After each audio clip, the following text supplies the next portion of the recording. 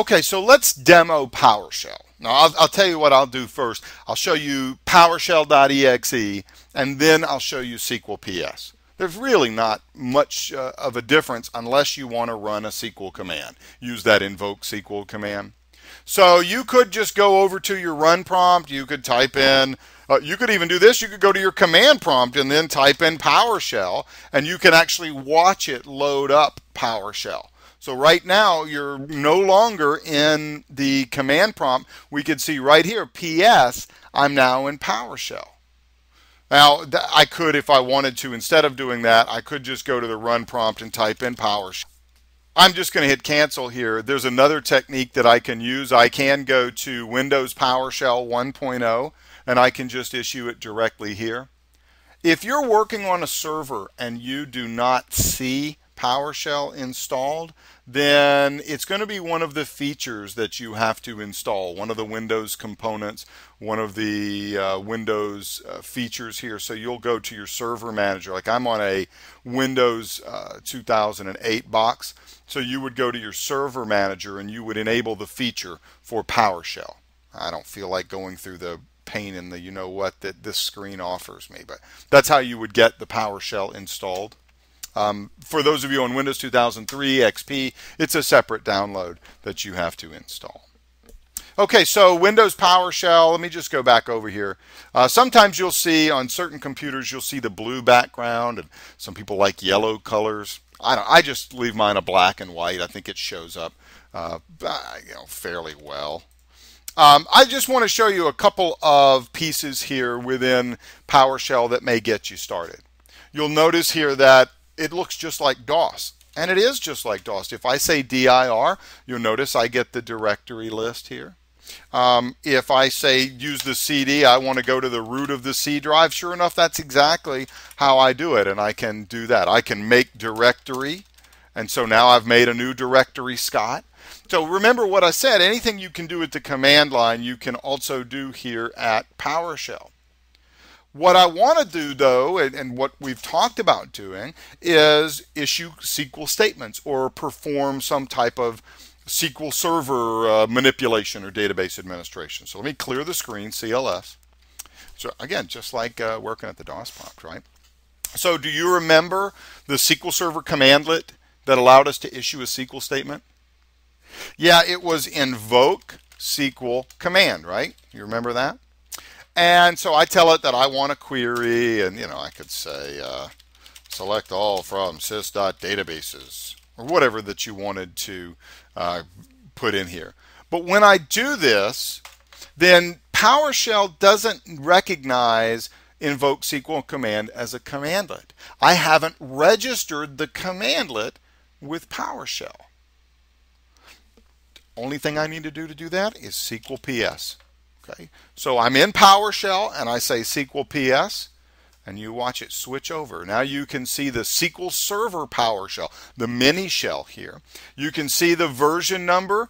Um, I don't know why through Service Pack 1 they did not update this, but it was not updated in, in Service Pack 1, so it still shows the RTM release. And you'll notice here the what's called the SQL Server drive. Okay, so I can switch between, this is so neat, I can switch between working with the operating system or I can switch back over to the SQL Server drive. And you can see then when I do the DIR all the cool stuff. You are able to treat your SQL Server just like files and folders. So here notice that I want to go, I want to use the database engine. So I can say, here's the name, CD SQL. Okay, and now I can see all the pieces that are here. I have one machine on this machine, on this uh, physical server, one instance. So now I can say CD, I don't know why I'm doing that uh, there, doesn't matter. Learn it first, 10, oops, and I messed up. I should have, uh, I can hit Control C to stop the execution, but it's still trying to connect to an instance, learn it first underscore 10. And we'll try again. And by the way, you can cycle through your previously issued commands using the up and down arrows on your keyboard.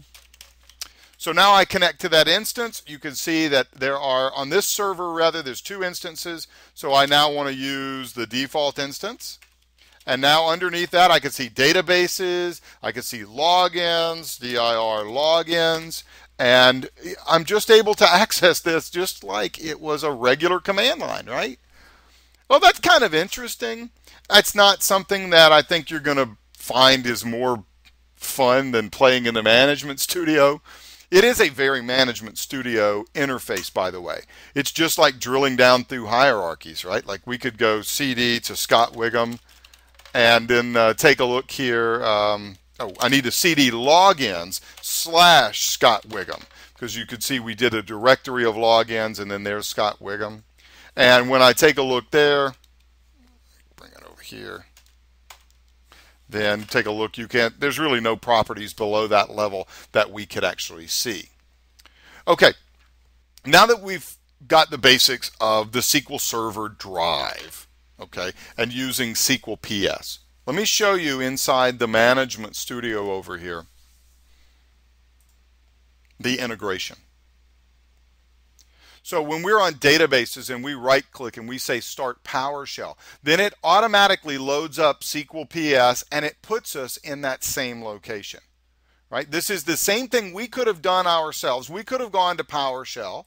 We could have loaded up SQL PS. We could have done all of our switching over. We could have said CD SQL and I want to use the machine learn it first dash 10 and I want to use the oops, default instance. Um, I'm sorry, typing and talking, apparently. Right? We could have done all that. It just does it automatically for us. So default slash databases. Okay? And so I'm in the exact same situation. So it's just a shortcut when it says to start PowerShell there. That's all that that's all it is. Okay. okay. Uh, and by the way, when we're in our SQL agent, just to show you the coverage of the jobs, let me get it to start that up. Um, stopped right now. Come on, man, you're slow. When you make a job, you'll notice that one of the steps, if we go take a look at that, is PowerShell. Okay, so we can actually choose to do a PowerShell script. Okay, just show you that.